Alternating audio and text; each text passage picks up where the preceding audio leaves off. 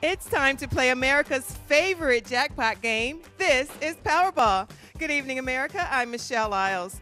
Tonight, we've got another life changing jackpot for you in an estimated amount of $38.8 million. Get your tickets out. Let's draw tonight's winning numbers. Your first number down tonight is 20. Right after that, America, we have the number 11.